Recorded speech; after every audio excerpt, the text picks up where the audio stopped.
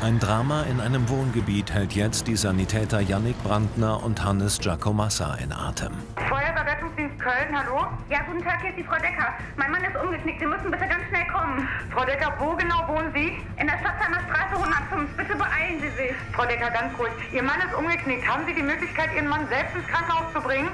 Nein, das habe ich leider nicht. Ich habe doch keinen Führerschein. Bitte beeilen Sie sich. Okay, Frau Decker, ganz ruhig. Die Rettungskräfte sind informiert. Bitte bleiben Sie für Ihren Mann jetzt vor Ort ganz ruhig. Sie können jetzt auflegen. Okay, tschüss. Die Sanitäter werden täglich zu Unfällen im Haushalt gerufen. Dieser Einsatz wird für die Spezialisten allerdings noch eine unerwartete Wendung nehmen. Wie ist Ihr Name? Ich bin der Anton Decker. Herr Decker. Wir sind neu hier eingezogen. Ich habe einfach nur einen Umzugskarton hochgeschleppt und bin blöd hingeflogen, bin an dem Geländer da hängen geblieben. Und Sie haben sich jetzt, wie ich das gerade sehe, den linken Ja, Knöchel verletzt. Ein bisschen angestaucht. ja. Magst du einmal schauen? Halb so wild. So, passen Sie auf, in dem Bereich hier. Ja. Oh, Ja, ja. Wir sind hier durch die Leitstelle zu einem äh, klassischen Haushaltsunfall gerufen worden. Ein Mann äh, hat sich beim Tragen von Umzugskartons irgendwie vertreten, den Knöchel leicht verstaucht oder ähnliches. Äh, ja, und da sind wir dann vor Ort erstmal tätig geworden. Herr Decker, mh, das Problem ist, da können wir vor Ort nicht allzu viel dran machen. Ne? ähm, persönlich würde ich Ihnen raten, einmal mit uns ins Krankenhaus zu fahren, dass Sie das einmal untersuchen lassen, weil reinschauen können wir halt nicht. Ne? Möglicherweise haben Sie sich einen Bänderriss zugezogen, vielleicht ist es auch nur eine Verstauchung, wenn Sie ein bisschen Glück haben. Man macht den weiter gebrochen ist äh, Nee, scheint nicht gebrochen zu sein. Ja, du, klar. Sie sind also mitten im Umzugsstress gerade. Das ist natürlich nicht so optimal. Ne? Genau. Aber äh, mit dem Fuß hilft das natürlich auch nichts. Nicht, dass Sie hinterher noch die Treppe ganz runterfallen oder so. Meinen Sie, schaffen Sie das mit Unterstützung zum Auto? Ja, sicher, klar. Ne? Denke ich mir. Die Spezialisten wollen den Patienten in die Klinik transportieren. Für die Sanitäter ist der Einsatz vor Ort damit abgeschlossen. Doch es kommt ganz anders, als sie denken. Gut. Da, da, da ist irgendwas noch. Da Ja, ich habe das. Ich habe das. Da ruft irgendwas um Hilfe. Das ist unsere Kommt das Nachbarin, von- die kommt von Frau oben, Feldmann. Die Frau Feldmann, ja. Ja, ich gehe mal einmal gucken, was da los ist. Als wir den Herrn Decker dann ausreichend untersucht hatten und äh, er uns auch zugesichert hat, dass er mit Unterstützung zum Rettungswagen laufen kann, äh, haben wir aus dem Obergeschoss äh, ein Geräusch vernommen. Auf Nachfrage konnte uns die Frau Decker dann auch mitteilen, dass dort die äh, Frau Feldmann wohnt, eine ältere Dame. Äh, und die schien nun offensichtlich um Hilfe zu rufen. Hallo? Hallo, der Rettungsdienst! Ich habe die Telefonnummer von der Frau, von der Tochter von der Frau Feldmann. Ähm, ich hole die mal schnell. Äh, Moment, wa- wa- warten Sie mal. Die Frau Feldmann wohnt da, sagen Sie? Ja, und die Tochter, die wohnt hier in der Nähe. Die hat den Schlüssel für die Wohnung. Ja gut, okay. Ich bestelle trotzdem einmal die Kollegen dazu. Okay. Leitstelle Köln für den 2 RTW 1 kommen. Leitstelle Köln hört. Ja, wir benötigen an der Einsatzstelle Buchfinkenstraße 105 einmal die Feuerwehr zur Türöffnung nach Unfallverdacht. Ja, verstanden. Einheit wird losgeschickt. Glücklicherweise hatte die Frau Decker wohl eine Notrufnummer von der Tochter der Frau Feldmann, um die erreichen zu können. Äh, nichtsdestotrotz haben wir hier aufgrund der akuten Gefahrenlage entschieden, die Kollegen der Feuerwehr hinzuzuziehen, ähm, weil halt Passanten auch oft mal im Stau stehen bleiben können oder aus anderen Gründen nicht erreichbar sind. Von daher war es hier äh, notwendig, die Kollegen der Feuerwehr hinzuzuziehen, um halt schnellstmöglich interagieren zu können. Noch ahnt niemand, was für eine Tragödie sich hinter der Tür abspielt. Schon wenige Minuten später erreicht das Team der Feuerwehr um Einsatzleiter Robin Galert das Wohngebäude. Frau Feldmann, hier spricht die Feuerwehr. Hallo? Ja, ich habe das gerade mal versucht. Also mehr als Hilfe kommt da nicht. Ist ein Ja. bisschen eigenartig auf jeden Fall. Ja, dann gucken wir mal. Machen wir die Tür auf. Ist die Polizei schon äh, alarmiert? Polizei kommt mit, ja. Alles klar. Dann kommt mal ran hier. Wenn wir zur Einsatzstelle kommen und natürlich die zu rettende Person dann auch noch um Hilfe schreit, ist natürlich nicht so eine angenehme Situation. Aber wenn wir natürlich vor Ort sind und ankommen, haben wir erstmal, blenden wir das komplett aus und äh, verrichten dann erstmal unsere Arbeit. Also wir versuchen das natürlich auszublenden. Manchmal geht es natürlich nicht. Ähm, aber die Arbeit steht natürlich im Vordergrund und wir lassen uns davon jetzt erstmal nicht irritieren. Niemand kann ausschließen, dass sich in der Wohnung eine Straftat abgespielt hat. Die Mieterin könnte in Gefahr oder verletzt sein. Zunächst erwartet die Spezialisten allerdings eine Überraschung. Ah, das sieht doch gut aus. Rettungsdienst einmal vor. Hallo! Guck mal, hast du das gehört? Ja. Hast du das gehört? Der Papagei hat Hilfe gerufen. Ja, super. Na du? Wer bist du denn? Ja, du rufst hier um Hilfe? Guten Tag, wer sind Sie? Ich bin die Tochter. Wo ist denn meine Ja.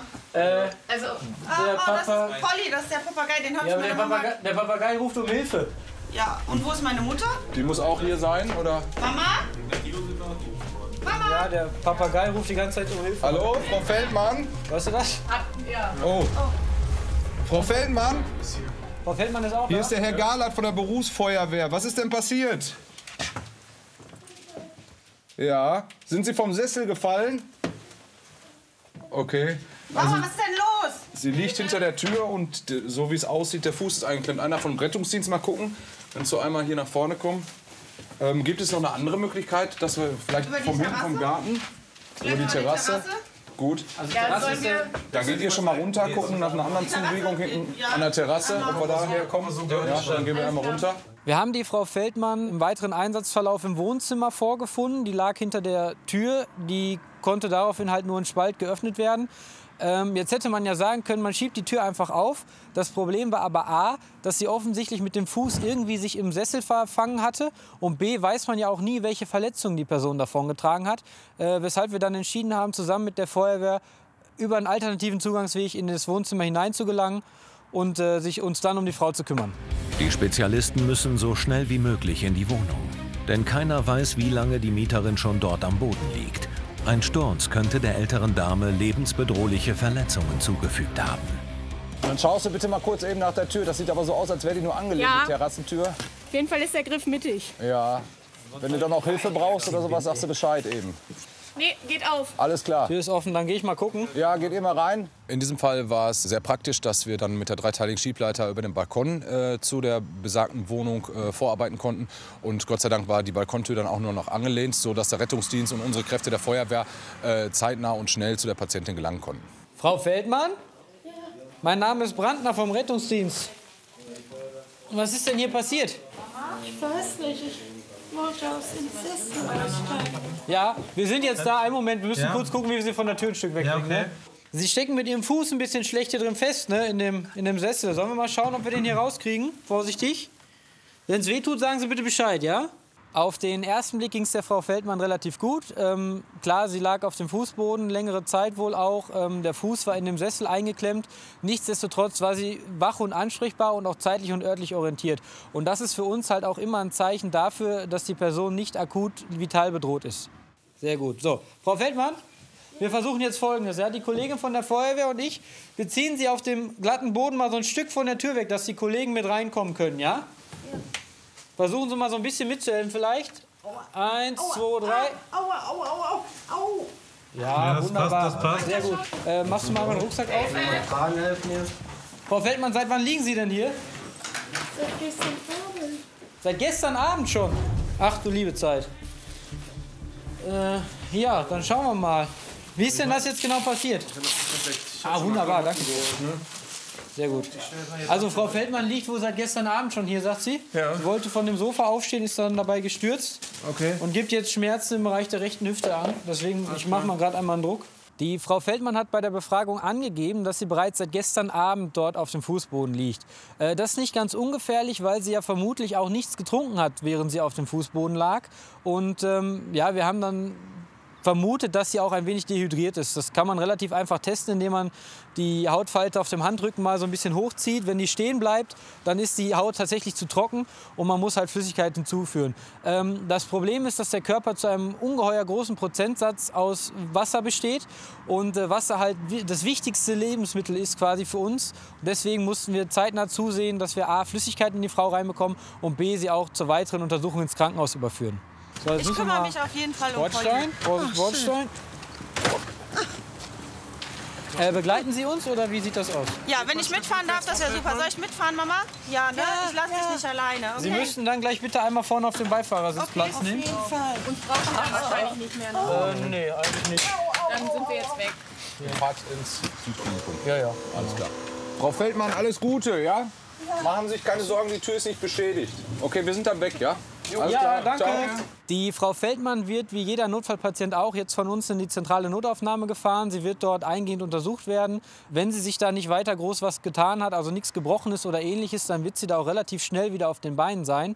Ähm, wobei natürlich der Papagei, muss man auch sagen, wenn er nicht um Hilfe gerufen hätte, dann hätten wir sie vielleicht auch gar nicht gefunden. Ne? Und von daher war das reine Glückssache Und äh, wir hoffen, dass es ihr bald wieder gut geht.